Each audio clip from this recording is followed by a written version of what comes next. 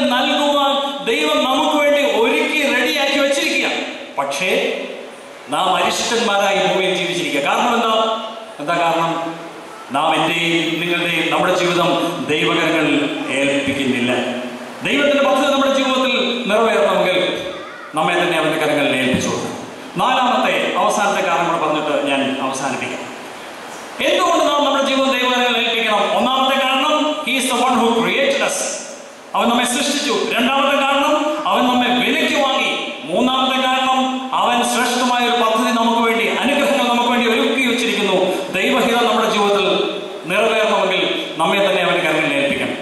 നാലാമത്തെ reason we have just one life in this world ഈ ലോകത്തിൽ നമുക്ക് ഒരൊറ്റ ജീവിതമേ ഉള്ളൂ.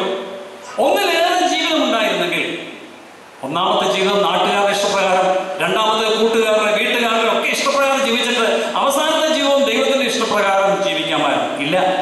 ഒരൊറ്റ ജീവിതമേ ഉള്ളൂ. ആ ഒരൊറ്റ ജീവിതവും ഹ്രസ്വമാണ്. തൊണ്ണൂറാം സങ്കീർത്തനത്തിൽ അഞ്ചാം വാക്യത്തിൽ അത് ഉറക്കം പോലെ അത്രേ. അത് രാവിലെ മുളച്ചു